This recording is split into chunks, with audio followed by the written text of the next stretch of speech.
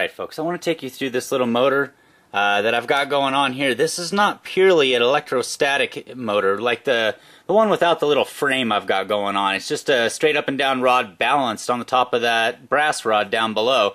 what that does is actually emanates plasma out the tips there of the bent tips right here. And actually that plasma creates propulsion like an ion pulse engine in a lot of ways, a plasma pulse engine.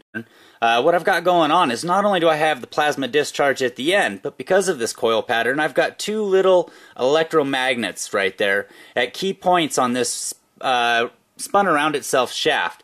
And that's allowing it to give kind of a corkscrew effect through the electromagnetic pulse that's taking place inside of that little coil and that little coil right there, uh, which are gaining their energy from the larger loop coils around it. So you'll actually notice, uh, whereas the, the straight shaft sitting on the brass rod free spins for a period of time after I'm done rotating the Wimshurst, whereas this one you'll see slows down very, very quickly, and then actually it'll pass a certain magnetic cog point, and then rotate back and lock into that cog point where it's acting like a magnetic motor also with the plasma discharge. So you're getting a lot higher RPM and a lot more power out of this little system than you would if it was directly just the, the straight rod going down on top of that brass rod. So let me go ahead and show you this in action and you can see for yourself.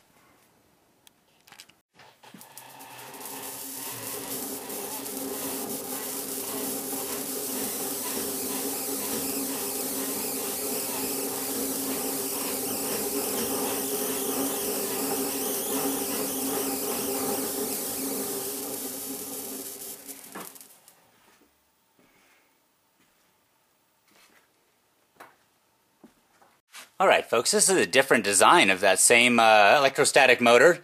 This is more of a helicopter style. Let me zoom in for you here a little bit so you can kind of see it's a nice flat blade design.